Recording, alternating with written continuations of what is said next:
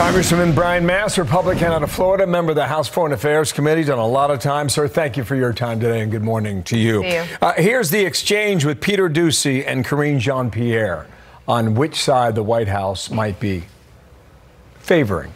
he harder on Benjamin Netanyahu than he is on the terrorist leader of Hamas. The president has been very, very clear about Hamas leaders and what they have done. He was asked a question, he answered it directly, uh, but Hamas is responsible. They have more American blood on their hands. The president was clear about that in his statement. We sat here yesterday just wondering where, where is the outrage? And there Yeah, was a there was a. Jewish American student who was interviewed the other day, and he said an American was just executed in cold blood overseas. I mean, I'm not that old, but I can remember a time when that happened. There was outrage, sir.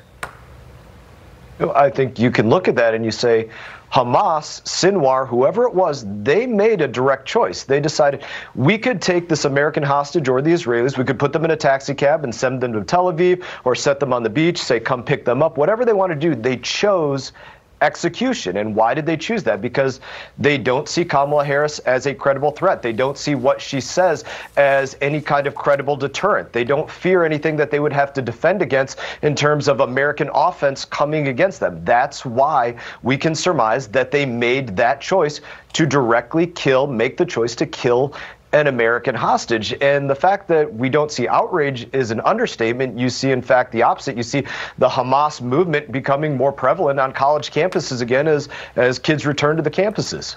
Uh, if you pull up call for number one, please. This is a poll that show three polls that show that President Trump tops Harris on the issue of Israel and Hamas uh, in the ABC poll, Wall Street Journal poll, Quinnipiac. So I guess you take that evidence for what it is. And I know that the Republican Jewish Committee will be meeting this week. Uh, Donald Trump, I understand, will be speaking to them. That same young man that was talking about the uh, hostage that was executed, the American, he also said, "You're crazy if you vote." If you're a Jewish American and you vote Democrat, you're crazy. That was his words. I'm wondering what you're hearing from your constituents or what the Republican Jewish Coalition hopes to get out of this push to try to get these voters in the last 62 days of the election. I hear the same question being asked constantly from October 7, October 8, all in the days after. Why have we not seen a commitment from Harris and Biden to say, listen, you took Americans. Americans are going to come and kill you for taking them. You better return them immediately. Why do they not have the fear of God in them? And people are mm-hmm. coming to the conclusion, well, there is a reason they don't have the fear of God in them. It's because they're constantly getting the mixed message of what will take place. Well, we want a ceasefire, or we want a ceasefire immediately, or no, you should fear this, but no, we're going to build you a port in Gaza. But no, the people here on this college campus, we're going to give them scholarships and bring in people from Gaza and, and build them a, a safe space. You get all of these mixed messages coming by, and people are seeing that so clearly. We uh, have spoken to many students who have gone back to class, and you know, frankly, they're they're concerned. Uh, here's a few of them a bit earlier today talking about exactly that. I honestly don't find it fair for these students to take away the education that I've dreamed of my entire life. When you have anti Semitism lurking in the shadows and you deny it instead of addressing it, that sends a pretty clear message about everything else that you're doing. It's all talk and no action. I have not seen tangible examples of the administration taking note of that. And truly, it's gross negligence. So, what we saw in New York on Monday and what we saw yesterday for the first day of classes at Columbia, th- this seems to be the left's new battle cry. You know, whether it was Occupy Wall Street 12, 14 years ago or George Floyd four years ago, th- th- this seems to be the issue now for this election. Do you agree?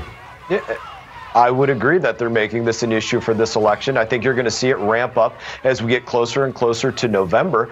And I think you asked the question maybe what can Congress do about this? You're going to see us go back into Washington in this next week. There's going to be a government funding deadline, and everybody should be looking at their representatives saying, Are you going to extract every dollar that was going to Columbia or going to Harvard or going to MIT or going to UC uh, LA and Berkeley? Are you going to extract every dollar that was going to these places? Where they're going to hold Jewish students hostage inside of community centers and other places? And, and that's a question that America will be looking at.